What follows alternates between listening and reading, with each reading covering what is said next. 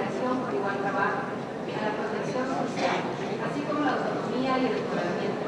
Todas las mujeres y niñas en los objetivos de desarrollo sostenible, del informe de tipos de género que impiden el desarrollo sostenible y discriminan a mujeres y niños. La agenda global representa una nueva realidad que precisa una labor coordinada y coherente a todos los niveles.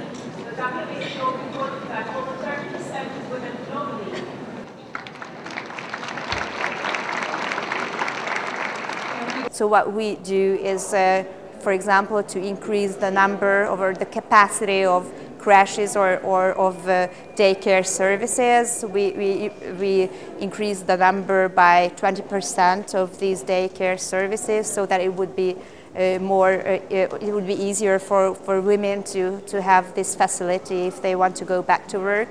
Also to give uh, the possibility of part-time work for women and these atypical working uh, uh, possibilities.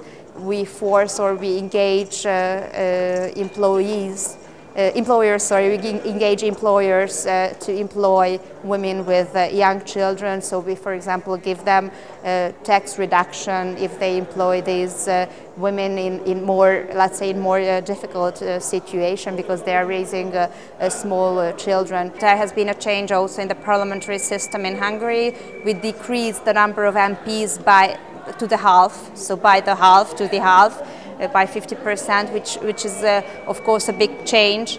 Uh, but it's, it's true that the representation of women in political decision-making bodies is quite low in Hungary. And uh, well, I myself am a Minister of State uh, for Families and Youth Affairs, and in my Ministry of State we created um, a, created a, a, a a, group of people which is, uh, which is a unit, let's say, which is especially for women's issues. So we are really working on this topic and uh, myself being a Hungarian politician or a, in a position of uh, decision, decision making, I myself find it very important to fight for uh, for this and uh, to make it possible for more women to to uh, have the chance to to intervene and to, to have the chance uh, to have their voices uh, heard.